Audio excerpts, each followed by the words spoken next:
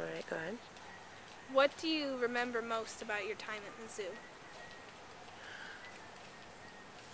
Oh, just chasing stories in Columbia. There were so many journalism students, but not really enough news sometimes, so we were always chasing down, you know, fires or accidents. It was, it was a lot of fun, actually.